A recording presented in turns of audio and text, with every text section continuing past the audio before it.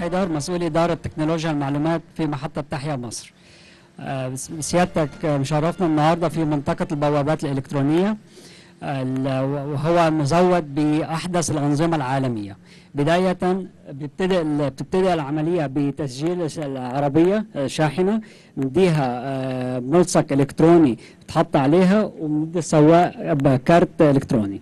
من ناحية من الناحية الثانية شركات الشحن وال- والنقل بيتم تسجيل دخول الشاحنة عبر المر عبر الرابط الإلكتروني وبيتم تحديد ال- الحاوية اللي هتتحط على على الشاحنة. من. مجرد وصول الشاحنة لبوابة الدخول. المرحلة الأولى بيتم مسحها إلكترونيا والمعلومات كلها بتترسل لمركز البيانات بالوقت ده الشاحنة. بتنتقل من المرحلة الأولى لبوابة المرحلة الثانية هناك وهناك بيتم طباعة ورقة الدخول للساحة مجرد دخول الشاحنة للساحة بيتعرف عليها آه، ونش الساحة آليا ويتم بيظهر على شاشة الوناش اللي فوق آه، بيان الأمر أمر التفريغ. من بعد ما تتم العملية الشاحنة بتخرج من المحطة عن طريق نفس. نفس النظام بوابتين المرحلتين.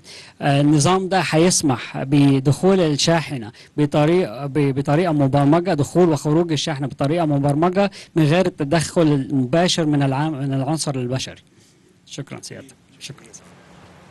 برحب بحضرتك محاسب مصطفى عبد الباري مدير المالي للمحطة. آه، اشتغلنا خلال 18 شهر على تطبيق المنظومة المالية الإلكترونية للمحطة باستخدام برنامج ERP البرنامج مربوط ببرنامج التشغيل الرئيسي بالمحطة المسؤول عن إصدار كافة أوامر التشغيل وحصر كافة الإيرادات وإرسالها في صورة فواتير إلى برنامج ال ERP اللي بدوره مربوط بالمنظومة الإلكترونية ويقوم برفع كافة الفواتير آه، على المنظومة الإلكترونية. ومن ثم نقوم بتحصيل كافة آه، آه، إيرادات المحطة من العملاء من خلال البنوك فقط. على الناحية الأخرى البرنامج ال ERP مربوط ببرنامج ال- ال- الصيانة الرئيسي بالمحطة المسؤول عن تخصيص كافة المصاريف على مستويات الأفراد والمعدات والأقسام ومن ثم يقوم بإرسال كافة البيانات إلى برنامج ال ERP على الناحية الأخرى الموردين يقوموا برفع كافة الفواتير على المنظومة الإلكترونية وبالتالي بنقدر من خلال برنامج ال ERP نصدر أوامر الدفع للعملاء للموردين من خلال التحويلات البنكية فقط.